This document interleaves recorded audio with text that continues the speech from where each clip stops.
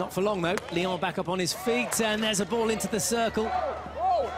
Chance here for Pakistan at the end of the quarter. Oh, they've got a goal just before the buzzer to level things up at the end of quarter three. It couldn't have come at a better time. It's Pakistan 2, France 2.